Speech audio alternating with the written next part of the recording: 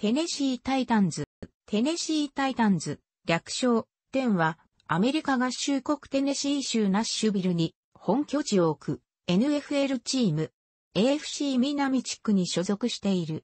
1996年シーズンまではヒューストンを本拠地とし、ヒューストンオイラーズという名称であった。移転後の1997年1998年はテネシーオイラーズ1999年シーズンにワイルドカードから第34回スーパーボールに出場したが、セントルイスラムズに敗れた。1960年 AFL アメリカンフットボールリーグの1チーム、ヒューストンオイラーズとしてテキサス州ヒューストンに本拠地に創設された。オーナーはヒューストンの石油王だったバド・アダムス。チームはハイズマン賞受賞者でオールアメリカンのランニングバック、ビリー・キャノンを NFL との争いで獲得していた。クォーターバックのジョージ・ブランダ、フランカーのチャーリー・ヘニガン、ランニングバックのチャーリー・トーラー、ガードのボブ・タラミニと、オフェンスにはタレントが揃っていた。AFL チャンピオンシップゲームに1960年から1962年と3年連続出場し、最初の2回はロサンゼルスチャージャーズ、現サンディエゴチャージャーズを破り優勝。1962年はダブルオーバータイムの末ダラステキサンズ、現カンザスシティチーフスに敗れた。1961年11月19日のニューヨークタイタンズ戦でジョージ・ブランダが NFL、AFL を合わせたリーグ記録となる 7TD パスを上げた。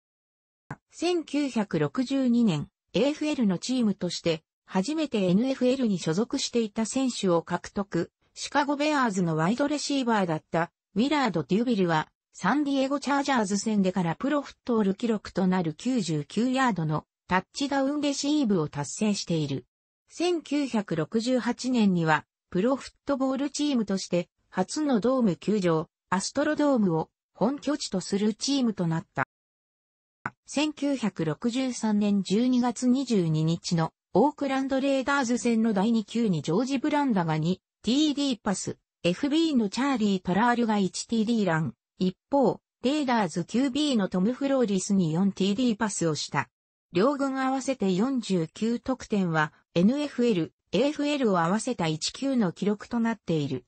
翌1964年1月1日のバッファロービルズ戦では、ブランダが1試合パス試投げ68回の記録を作った。この記録は1994年にドリュー・ブレッドソーが1試合70回のパス試投げをするまで30年間破られなかった。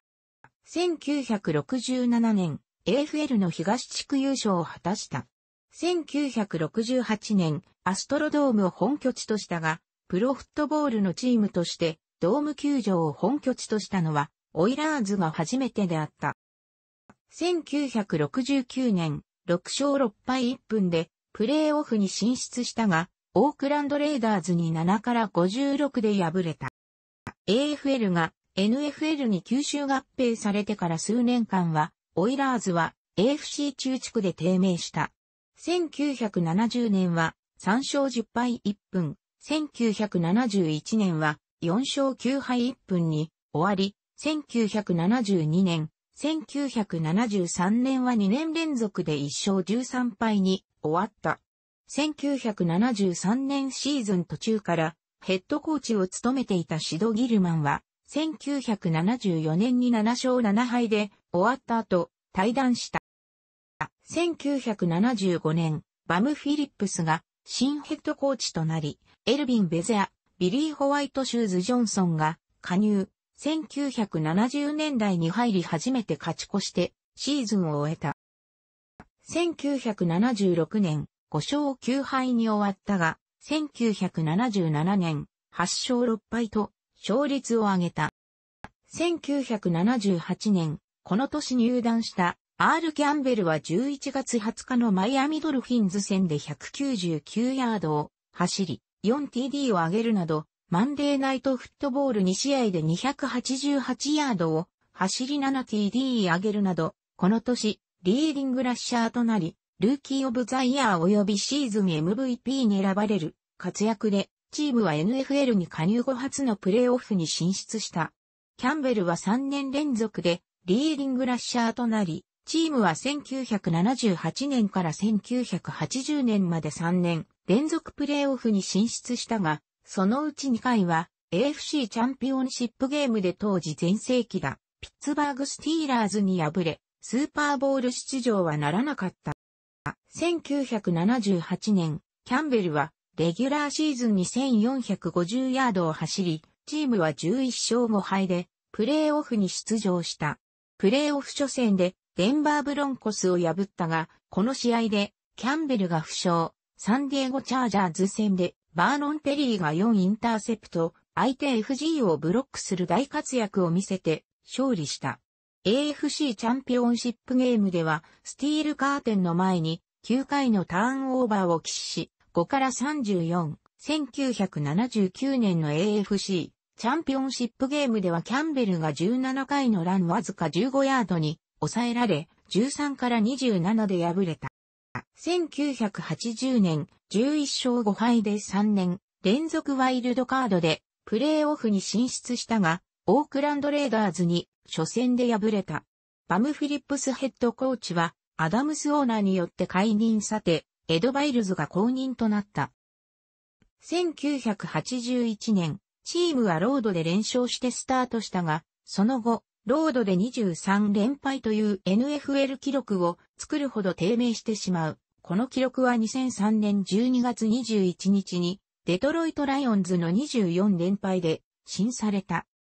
1981年を7勝9敗、ストライキで短縮された1982年を1勝8敗、1983年を2勝14敗で終えた。1983年第6週でバイルズヘッドコーチは辞任し、チャック・ステュッドリーが暫定ヘッドコーチに就任。シーズン終了後、ヒュー・キャンベルがヘッドコーチとなった。1984年、カナディアンフットボールリーグのスーパースター、ウォーレン・ムーンを獲得したが、この年は2勝14敗に終わった。1985年、チームは恒例のギャンベルをニューオーリンズ・セインツにトレードし、ユスフルでプレーしていたハイズマン賞受賞者のマイク・ロージャーを獲得した。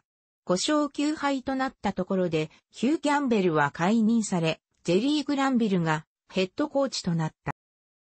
1985年9月29日のダラスカウボーイズ戦ではムーンが NFL 記録となる12サックを浴び4、インターセプトを喫するなど散々であった。1986年、グリーンウェイパッカーズとの開幕戦に31から3で勝利したが、5勝11敗に終わった。その後1987年から1993年まで7年、連続プレーオフに進出し AFC の競合の一つとなった。この間1991年には1967年以来となる地区優勝を果たしている。ストライキで1試合減り、3試合で代替選手が出場した1987年、9勝6敗で7年ぶりにプレーオフに進出、ワイルドカードではシアトルシーホークスをオーバータイムの末破り、ディビジョナルプレーオフでデンバーブロンコスに敗れた。1988年、10勝6敗でワイルドカードでプレーオフに進出、雪の降る敵地クリーブランドスタジアムでクリーブランドブラウンズを24から23で破ったが、翌週バッファロービルズに敗れた。1989年、1990年は、共に9勝7敗で、ワイルドカードで、プレーオフに進出したが、ピッツバーグスティーラーズ、シンシナティベンガルズに敗れた。1991年、チームは25年ぶりに地区優勝を果たした。プレーオフ、デンバーブロンコス戦では残り2分07秒、24から23と1点リードしていたが、敵陣2ヤード地点からジョン・エルウェイに9ヤードのドライブで、最後デビット・トレドウェルに逆転 FG を決められて24から26で敗れた。1992年、最終週にバッファロービルズを破り、10勝6敗でプレーオフに進出した。翌週のワイルドカードプレーオフでもビルズと対戦、前週の試合で負傷したジム・ケリーを欠くビルズに対して、後半開始早々35から3とリードしたものの、オーバータイムの末、38から41で敗れた。敗戦直後にその年、NFL3 位のディフェンスを築いた、ジムエディディフェンスコーディネーター解任された。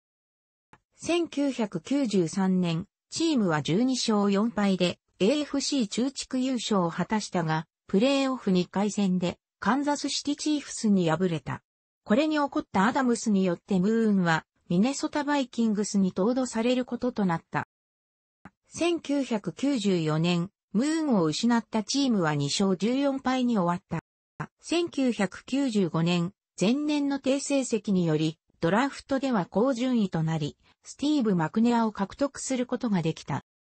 1987年、アダムスオーナーは、フロリダ州ジャックソンビルへの移転を計画していることを公表した。この時点で、アストロドームは5万人しか、フットボールゲームで収容できず、これは NFL のスタジアムの中で最小であった。市当局は6、700万ドルをかけて1万人の収容人数増65のラグジュアリーボックスを追加する改修を行ったがこれはその後30年間の増税が必ずとなった。1995年、またもアダムスは新スタジアム建設を市当局に働きかけたが、アストロドームに代わる新スタジアム建設が控えていたため良い返事を得ることができなかった。そしてテネシー州ナッシュビル市長のフィル・ブレーデセンと秘密交渉をして、1995年シーズン終了後、1998年からナッシュビルに移転することを発表した。翌年のオーナー会議で、テネシーへの移転は23の6で承認された。市は1億4400万ドルをかけて、新スタジアムを建設することを約束した。後に、テネシー州政府もチーム名をナッシュビルではなく、テネシーとすることなどを条件に、スタジアム建設の資金を提供している。1996年、観客が2万人以下しか入らず、フィールド上の声がメインスタンドでも聞けるほどであった。チームは、ロードゲームでは6勝2敗だったが、ホームゲームで2勝6敗に終わり8勝8敗であった。市はアダムスに早期移転を了承しこの年がヒューストンでの最後のゲームとなった。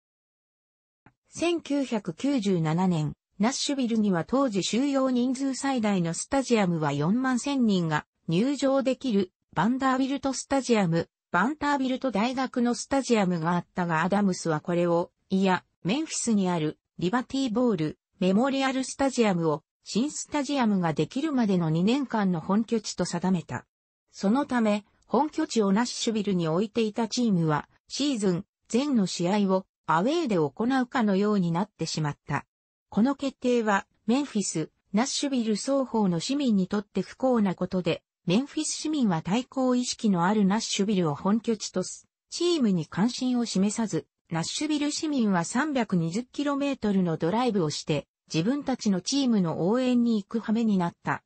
1950年代以降史上最低の観客動員となってしまった。このため最後の主催ゲームである対、ピッツバーグスティーラーズ戦のミバンタービルトスタジアムで行われた。この試合には5677人の観客が入り、多くのファンが入場できなかったが、観客の2、3はスティーラーズファンであった。1998年、前年の反省からアダムスは方針転換、本拠地をバンタービルトスタジアムに変更。1999年、ナッシュビルに新スタジアムとなるアデルフィアコロシアムが開場し新たな本拠地と定める。2015年、この年までの間に新スタジアムの命名権者の破綻などにより名称は変遷していたが、新命名権者が日産自動車となり、スタジアム名は日産スタジアムとなる。これは20年の長期にわたる命名権契約である。1998年、シーズン中、オイラーズに代わり、ナッシュビルにふさわしい愛称を募集した。オイラーズから愛称が変更されても、新チームは、ヒューストン・オイラーズの歴史を引き継ぐことを明かした。新チームの名称を決めるための委員会が設けられたが、そこでアダムスはパワー、強さ、リーダーシップといったイメージが連想される名称とすることを求めた。1998年12月22日に1999年からはテネシータイタンズとなることが発表された。1999年、チームはジャクソンビル・ジャガーズに地区優勝こそ譲ったものの13勝3敗で地区2位となり、プレーオフに出場。その第一戦となるバッファロービルズ戦で、後にミュージックシティミラクル、ミュージックシティミラクルと呼ばれるようになるビッグプレーが飛び出す。残り16秒でビルズのフィールドゴールが決まり15から16とリードを許した時期、キックオフをレシーブしたロレンゾ・ニールからのハンドオフを受けたタイトエンドのフランクワイチェックが自陣から見て左サイドライン際に行ったケビン・ダイソンにラテラルス、横方向のパスを送ったのである。ボールを受けたダイソンは75ヤードを走り逆転のタッチダウンを上げた。キックオフリターン中のパスプレーという今日ついた。このプレーはムランスローバックと呼ばれている。その後インディアナポリスコルツ戦では、エディ・ジョージがチームのプレーオフ記録となる162ヤードを走り、ディフェンスは相手の2年目 QB のペイトン・マニングのパスを43回中19回しか成功させず19から16で勝利した。ジャガーズに対してはディフェンスが6回のターンオーバー、セーフティ1回を記録し33から14で勝利し、第34回スーパーボールに出場した。最後の攻撃で、ケビン・ダイソンが残り1ヤードのところでタックルされて、このプレーはザ・タックルと呼ばれいる。タッチダウンが奪えず16から23で敗れた。なおタイタンズはこの年14勝2敗の成績を残したジャガーズを破った。唯一のチームとなった。レギュラーシーズン2勝及び AFC チャンピオンシップゲーム。2000年、チームは13勝3敗で、オイラーズ時代の1991年、1993年についで3度目の AFC 中地区優勝を果たしたが、プレーオフ初戦でその年の第35回スーパーボールを制したボルチモアレインズに敗れた。2002年、この年から再編となった AFC 南地区優勝を果たしたが、AFC チャンピオンシップゲームでオークランドレーダーズに敗れた。2003年、所属のスティーブ・マクネアがペイトン・マニングとシーズン MVP を分け合う活躍を見せたが、第38回スーパーボールを制したニューイングランドペイトリオッツに敗れた。2004年、主力選手に怪我人が多く出たため5勝11敗に終わる。シーズン終了後チームのフロントは、デリック・メイソン、サマリロール、ケビン・カーターなど多くの選手をトレード指示契約を打ち切った。これはチームがサラリーキャップをオーバーしたためである。2005年、NFL 一若いチームとなる。ドラフト一巡指名のコーナーバック、パックマン・ジョーンズ、オフェンスタックルのマイケル・ルース、3人のワイドレシーバー、ブランドン・ジョンズ、コートニー・ロビー、ロイデル・ウィリアムスなどのルーキーがプレーした。このシーズンは4勝12敗に終わった。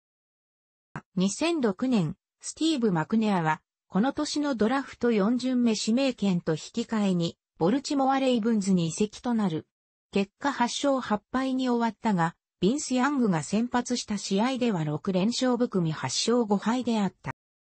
2007年、10勝6敗となり、プレーオフに出場したが1回戦で、サンディエゴ・チャージャーズに敗れている。2008年、開幕戦で QB のビンス・ヤングが負傷し、ケリー・コリンズが先発することとなったがチームはニューヨーク・ジェッツに敗れるまで開幕から10連勝を果たし、シーズンを13勝3敗で終えプレーオフの第1シードを獲得した。しかしディビジョナルプレーオフでボルチモア・レイブンズに敗れてシーズンを終えた。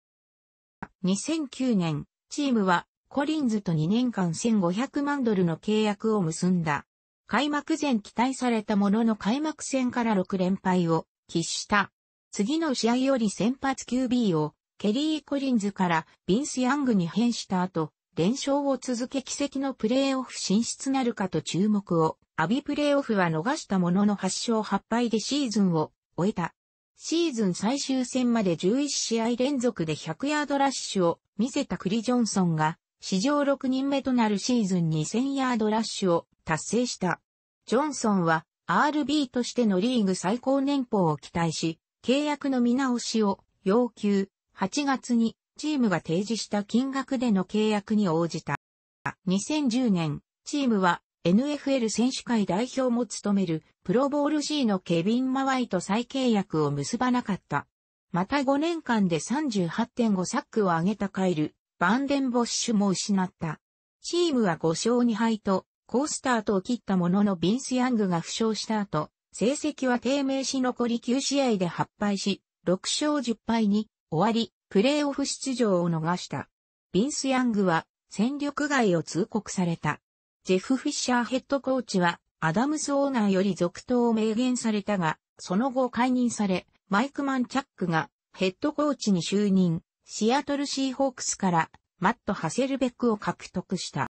2011年、シーズン開幕戦直前まで、クリス・ジョンソンがホールドアウトを行い、開幕戦にこそ間に合ったものの、最終的に1047ヤード獲得と自己最低の成績に終わった。しかし、ハッセルベックがムーニー以外では、チーム初となる年間パス3500ヤードを達成するなどの活躍もあり、シーズンは9勝7敗で終えた。タイブレークにより、チームはプレーオフこそ逃したが、先発 QB と HC が変わったにもかかわらず、下馬評を大きく上回る活躍を見せた。2012年、2年目の QB ジェイク・ロッカーがハッセルベックとの先発争いに勝ってエース QB に指名された。ロッカーは第4週に負傷退場、左肩を脱臼していることが分かっている。2013年、3年連続してプレーオフ出場を逃して HC のマイク満着は解任された。2014年、ケン・ウィゼンハントが HC に就任した。だがチームは2年連続して地区再開となる。2015年、シーズン終盤にウィゼンハントは解任された。マイク・ムラーキーが臨時 HC となる。2016年、この年もマイク・ムラーキーが HC を務め地区2位となったが、プレーオフは逃した。2017年、ワイルドカードでプレーオフに進出し、初戦はカンサスシティチーフスを破ったが2戦目でニューイングランドペイトリオッツに敗れた。翌日、マイク・ムラーキーは退任した。後任はマイク・ブラベルが就任した。2018年、最終戦で敗れてプレーオフ進出を逃した。楽しくご覧になりましたら、購読と良いです。クリックしてください。